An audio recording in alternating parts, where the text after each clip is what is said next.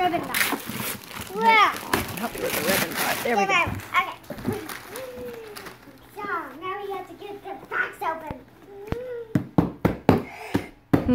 Punch. Pop, pop, pop, pop, pop, pop. There you go. What?